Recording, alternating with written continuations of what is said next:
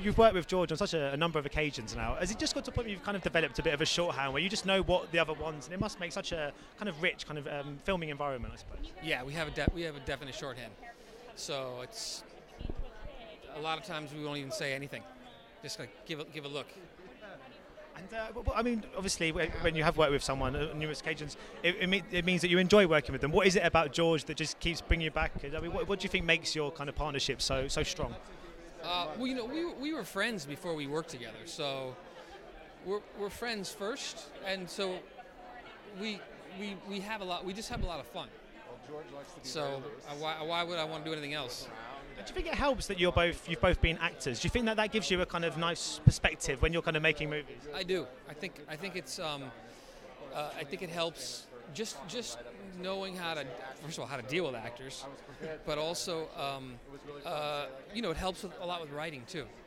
What was the, the process in this regard? Did the Coens write this with George in mind to direct? Did they write it for themselves? And how did that all kind of they, come about? They wrote this a long time ago, like 20 years ago, and um, they had tried to get it made a long time ago with George in it.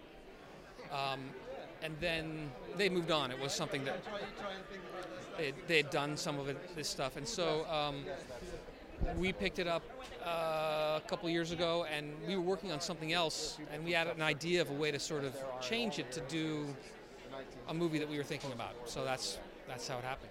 So why, why did it feel relevant now? I mean, also, I'm assuming it was a couple of years ago when you did start thinking about it, this was kind of pre-Trump. So either film feels even more relevant now in it's sort of being released. When we, when we started thinking about it, it was just Trump.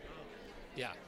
I'm assuming that's why. It so I guess my, my final question really is, what's next uh, between yourself and George? Have you got any projects sort of lined up? We have a bunch of stuff, uh, but the, the, the the next film that we're doing, you know, directing, we, we're we're just deciding between a few pieces right now. I'm assuming you can't tell us what they are yet. I'll tell you. It's worth a go. Thank you so much. Ladies and gentlemen, you're watching Hey You Guys! Hey You Guys, huh? Hey, you guys. Is that from the Goonies? It is indeed, yeah. Nice. Hey,